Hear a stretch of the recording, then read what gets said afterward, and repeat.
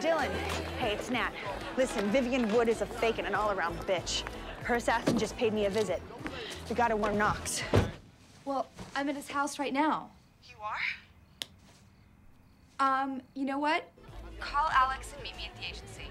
Dylan. Dylan.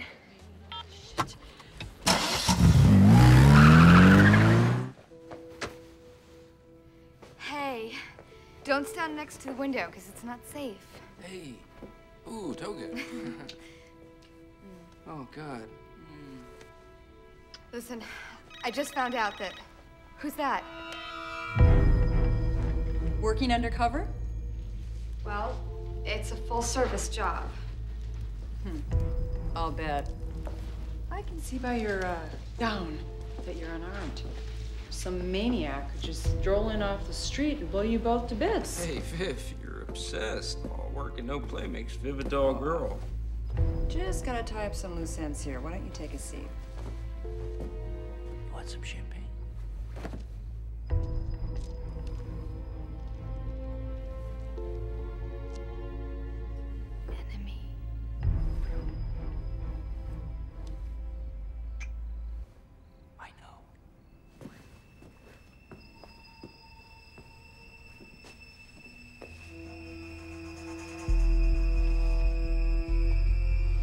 Sad news. Your girlfriends are dead. Corwin?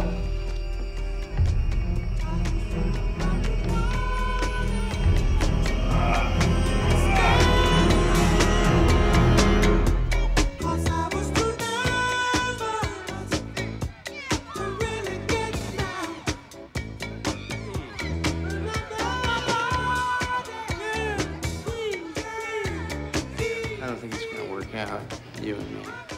Which is a real bummer, you know, because you, Dylan, Tomcat in the sack.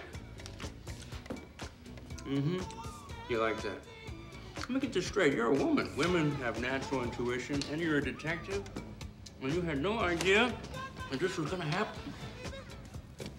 I knew. Uh-huh. She knew. And I know what's gonna happen next. Tell her, baby.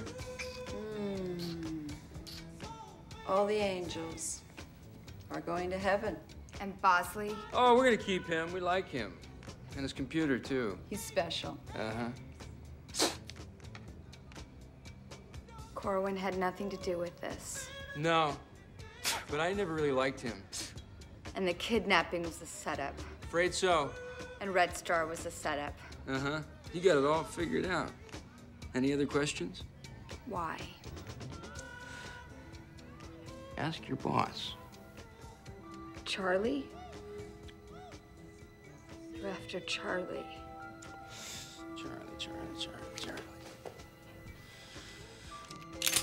They say that in death, all life's questions are answered. Can you let me know?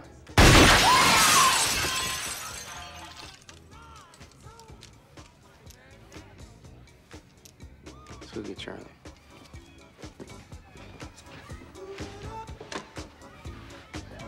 Come on.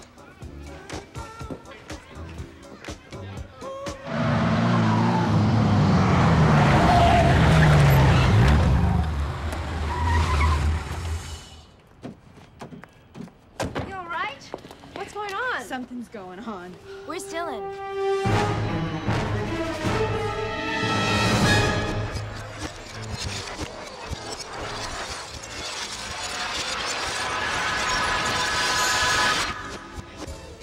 They say in death, all life's questions are answered. You let me know?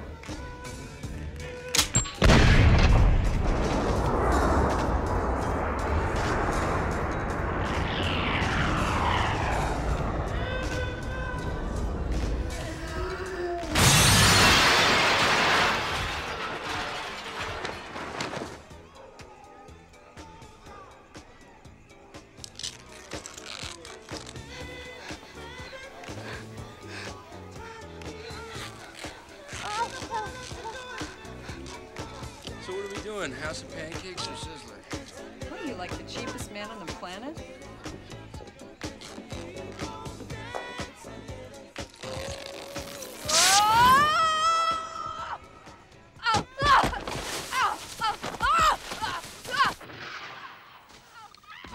So, what did it look like? Uh, I don't know. It was like, uh, all cool and stuff.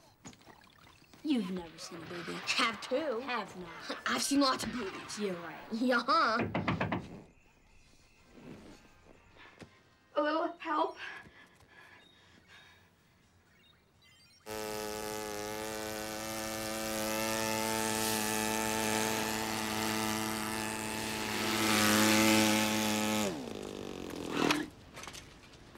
Don't ask. Where's Knox? Is he okay? He's great. He's the bad guy. The kidnapping was a setup. He's behind the whole thing. What? Why? He wasn't exactly forthcoming when he shot me out the window.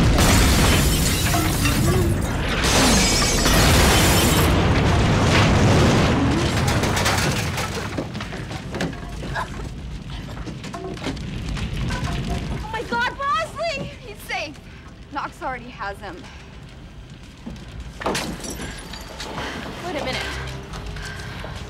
Me get this straight. Bosley is with the man who just tried to kill us. How does that make him safe? Because he won't kill Bosley until he kills Charlie. Kills Charlie? Jesus. Look, I don't know what his plan is, but I know that we can stop him.